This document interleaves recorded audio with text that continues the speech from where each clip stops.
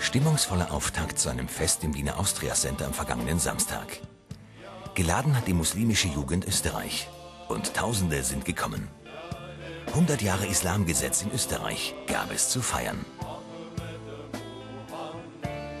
Wollen heute mit diesem Fest ein ganz wichtiges Zeichen setzen. Und zwar, wir muslimischen Jugendlichen, wir sind hier nicht nur Teil von Österreich, sondern wir wollen unser Land, unser Österreich auch selbst mitgestalten. Aus dem ganzen Land sind junge Muslime und Musliminnen angereist. Gebildet und selbstbewusst. Muslime in weniger privilegierter Position haben wir hier nicht getroffen. Sarah Momani ist seit Jahren in der Jugendbewegung engagiert. Für die 21-jährige Chemiestudentin ist Bildung eine der wichtigsten Säulen der muslimischen Identität. Die Jugendlichen wollen sich in der Gesellschaft stärker positionieren als bisher. Identität, dass ich eine Österreicherin bin, dass ich eine Muslimin bin, das ist für viele Jugendliche noch nicht selbstverständlich. Aber es sollte zu einer Selbstverständlichkeit werden. Denn sobald es zu einer Selbstverständlichkeit wird, dass ich nicht nur Muslimin, sondern auch Österreicherin bin, dann wird auch die Partizipation zu einem Teil der Verantwortung, in dem sich die Jugendlichen sehen.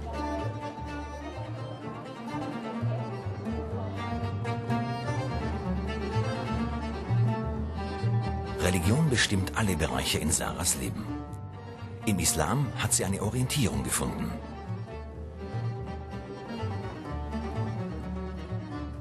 Sie sieht ihren Glauben auch nicht im Widerspruch zu Modernität und Offenheit.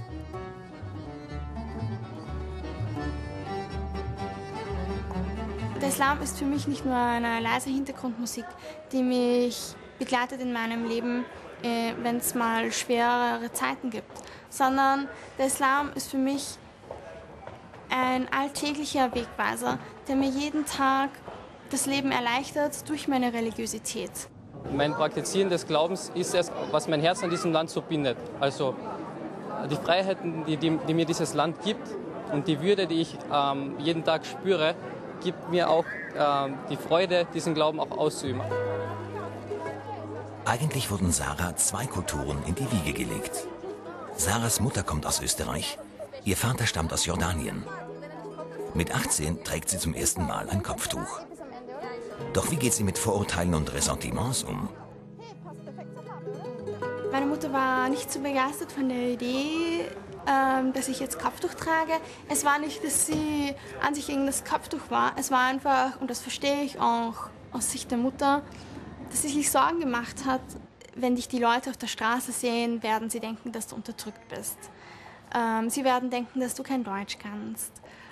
Ähm, man wird dich für eine Putzfrau halten, du wirst keinen Job bekommen. Aber ich habe mich so sehr mit diesem Thema auseinandergesetzt und ich habe einfach gemerkt, das ist etwas, was ich wirklich will und es ist etwas, was mir wirklich wichtig ist.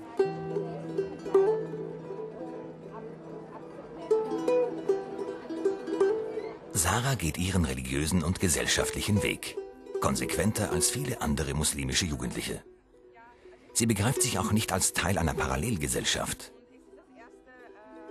Welche realistischen Chancen sieht sie für eine bessere Integration der jungen muslimischen Gesellschaft in Österreich?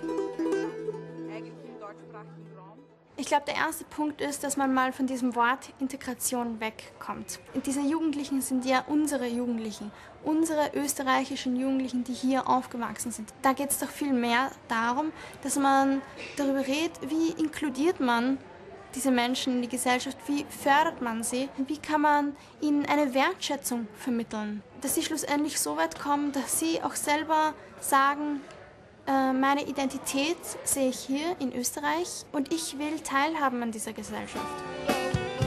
Teilhaben an dieser Gesellschaft. Das ist für viele Muslime noch ein weiter Weg. Aber die neue Generation versucht einen Neuanfang. Und der klingt ziemlich ambitioniert.